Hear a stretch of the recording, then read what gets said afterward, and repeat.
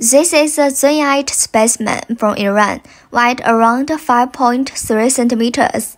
Zunyite is a rare mineral containing elements Cl, F, O, H, Si, Al. Normally, zunyite crystals are very small at present, wide around 1 centimeter, but the zunyite of this piece wide around 3.4 centimeters, in brownish red color, very obvious geometric shape also on the matrix, very refined, professional collector's choice.